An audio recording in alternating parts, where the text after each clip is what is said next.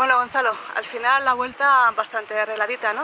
Sí, yo creo que ha un buen comienzo. Eh, he jugado muy bien, tía Green, eh, y bueno, he tenido un momento con el pad que parece que me ha costado coger la velocidad, sobre todo los greens. Había, había los greens estaban un poco secos y, bueno, he tenido algún incidente como el 4 pad del, del hoyo 5 y el 3 pad del 8, pero bueno, a partir de ahí me he repuesto bien y Verdis en los hoyos 16 y 17 pues para, para acabar bajo par, que yo creo que las condiciones eh, que está jugando el campo es un, es un buen resultado. Nos ha comentado eh, Miguel Vidaor que te ha ido, ha ido siguiendo algún que otro partido, que hay algunas banderas que están muy difíciles, entre ellas por ejemplo el 18, creo que el 16 también.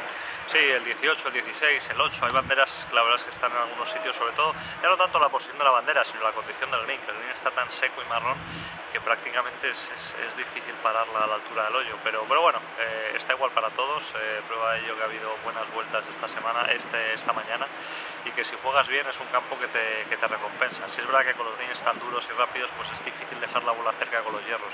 Es lo que me ha pasado a mí, he jugado muy bien, he pegado buenos tiros, pero, pero no la acabas de arrimar del todo y, y cuesta, y bueno, estás tirando pads pues, de entre 5 y 10 metros para verde y todo el rato, que son, que por supuesto son muy difíciles de meter. El primer verde del, del 6 creo que ha sido, ha venido como agua de mayo, ¿no? Porque parecía sí, hecho, que le costaba. He hecho verde al 3, he hecho verde al 3, lo único que luego he tenido el, el, hoyo 6 con los 4 pads, del, del, hoyo 5 con los 4 pads y luego verde al 6 recuperando bien. Eh, pero bueno, eh, estoy contento, creo que juega muy bien de tía green, eh, coger 17 greens en las condiciones que está jugando el campo pues eh, dice mucho y ahora hay que mantener la tónica y mejorar un poquito con el pad. La Armada Española se ha colocado ahí de momento de entrada Jiménez y Cabrera.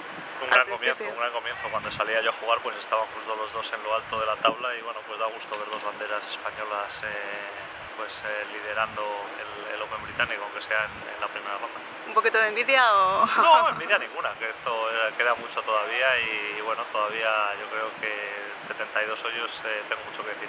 Y, y, luego al final te han pillado con el doping y ya es que venías poco ya desesperado, ha sido, ¿no? Sí, sí, lo del doping siempre es un poco incómodo por el hecho de que, bueno, cuando cuando tienes que hacer pisolito no hay ningún problema, cuando te están mirando parece que todo se, todo, todo incomoda. Bueno, y para mañana, como, como, mañana sales más tarde, a las 12 y media, mañana, puede que los greens estén Mañana más estarán duros. los greens más secos y más duros, pero, pero bueno, es lo que van a encontrar ahora la gente por la tarde, así que yo creo que al final la balanza, la balanza se compensa. Bueno, pues mucha suerte y nada, nos vemos mañana.